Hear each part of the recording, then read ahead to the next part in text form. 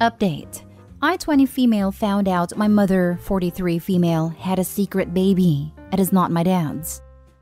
Original post The situation is really messing with my head. And at this point, my own mother and grandmother are near enough attempting to bribe me to stay quiet.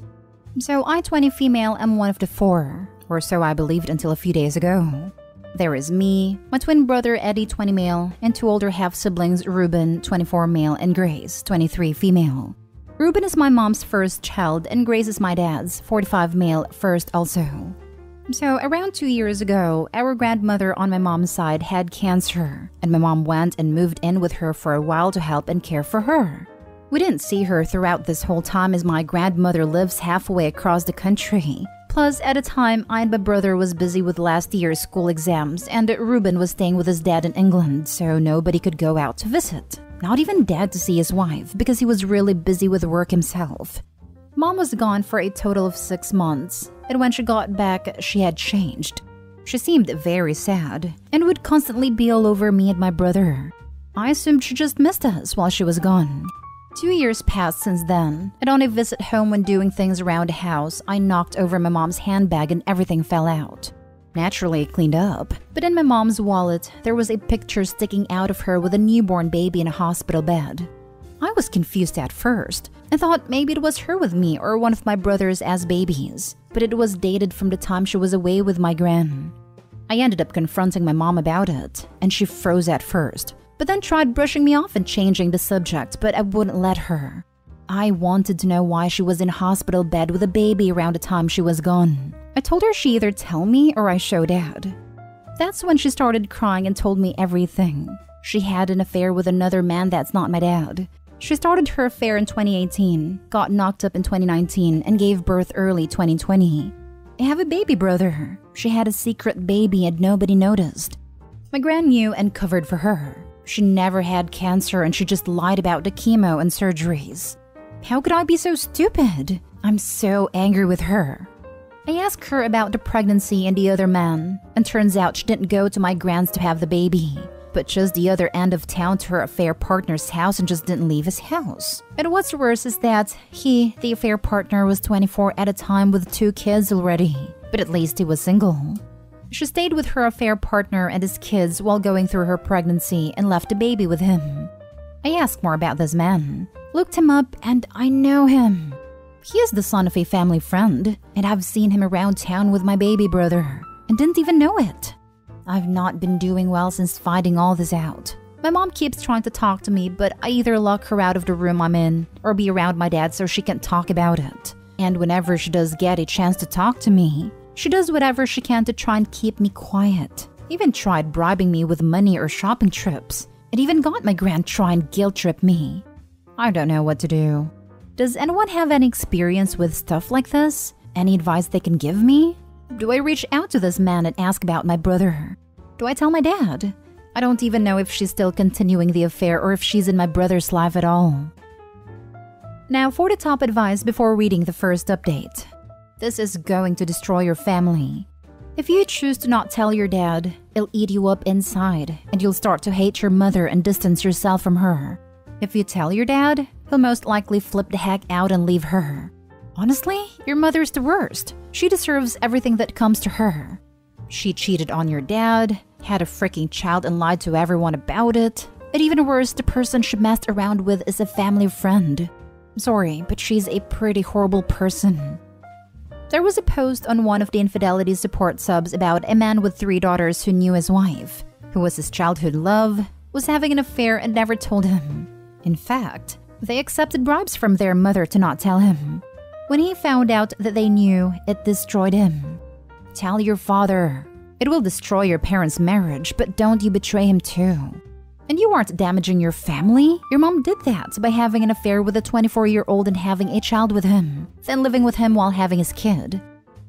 My thoughts are think of this as if you're in your dad's position. Would you want to know?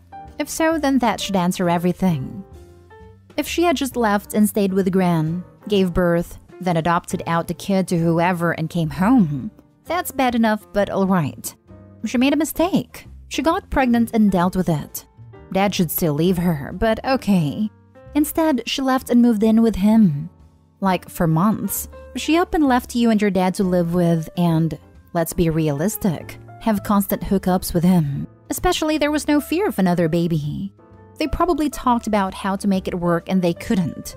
In reality, she left her dad for months to be with another man, only returning home when it wouldn't work. And worse, the baby's still close enough for her to see at any time, at any point.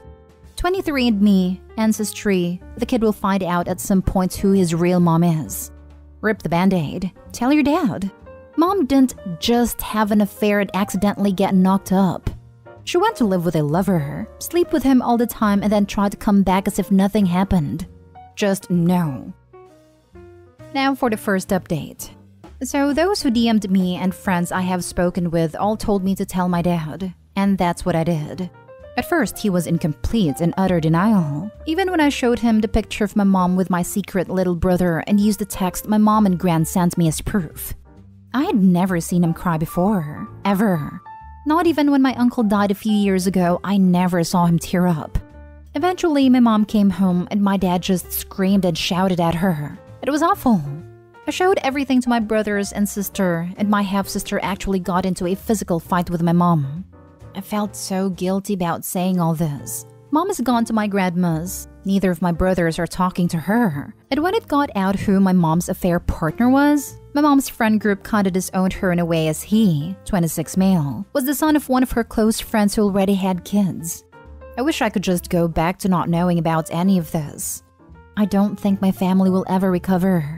My older half brother was in England and is adamant on staying there. My brother is angry with mom and isn't speaking to her either. Dad is just crying and saying he is going to hire a cutthroat lawyer to divorce my mom. And mom is distraught, blaming me, but is demanding I talk to her as she doesn't want to lose any more of her children. You are not to blame for this at all. Your mother was an adult who knowingly and willfully betrayed your father and family. She could have stopped at any point before pregnancy and ended it, but she did not. This is what happens when you break someone's love and trust. She had a love child with a guy. Insane. Yes, her blaming Opie itself shows exactly how remorseful and how much she regrets her actions. She doesn't give a damn that she blew up her family, but is blaming it on Opie. She made her mother lie about having cancer and acted like she was in another country to cover up her affair and pregnancy. She continued seeing him the entire time. Don't know why she came back, but it's probably because she knew everybody would hate her for what she did, and she would lose her stable family home. She's also a super creep for having an affair with her friend's son.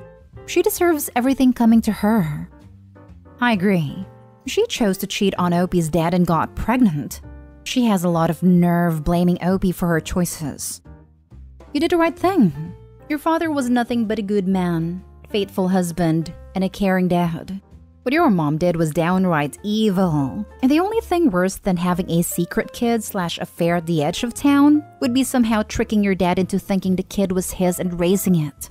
Actions like that need to be brought to the light, and your father needed to know the truth about the woman he thought he knew. Yeah, it caused a rift, but it needed to happen. There's a silver lining at least. All of your original siblings are grown, so there's no child support to worry about and after the divorce, she can just hook up with her boy toy and be the mother to his two kids and their toddler. She still gets a family after all. This isn't your fault. This was bound to come out eventually. And if it came out in 20 years, when a kid was old enough to take a DNA test and find out for themselves, then the thing is you'd be disowned by everyone for helping your mom cover it for two decades.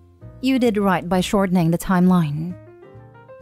Now, for the last update. Hello, folks me again. Quite a few things have happened since my last update, so I figured I'd post one last time. The situation I feel, and I'm hoping, is coming to a close. My parents are divorcing. My dad filed not so long after he found out about the baby.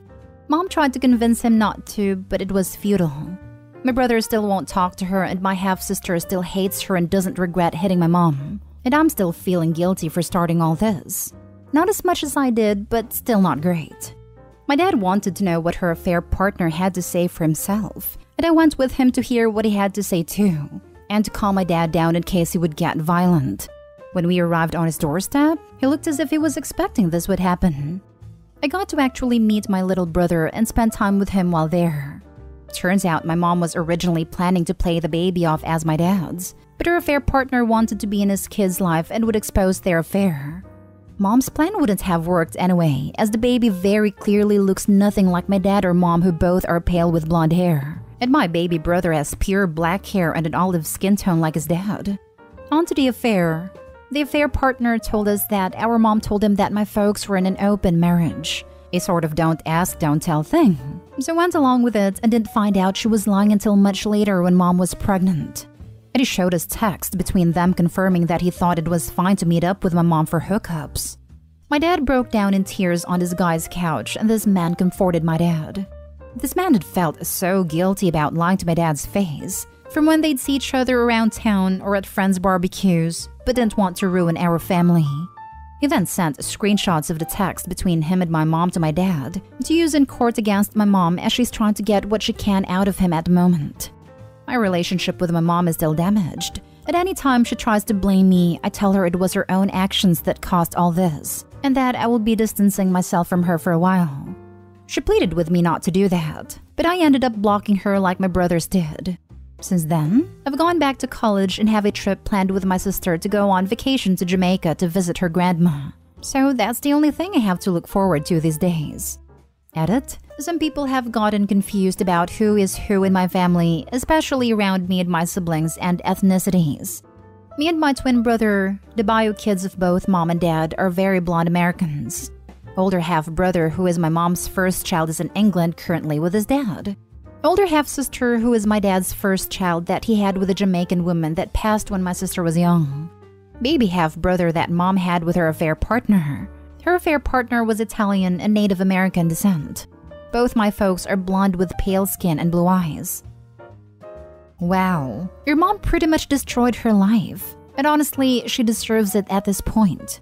She lied, manipulated, and cheated. So this is all on her. I would keep her blocked for the rest of your life. She must know that actions have consequences, and those consequences will last a lifetime. I can't believe how narcissistic she is about all this. Honestly, man, good riddance. She will ruin your life if you let her back in. The plan to pass the kid off as Opie's dad was what nailed it for me. What utter trash of a human. That's like the most evil thing someone can do to someone they're supposed to love. I know, man. This woman truly has some issues.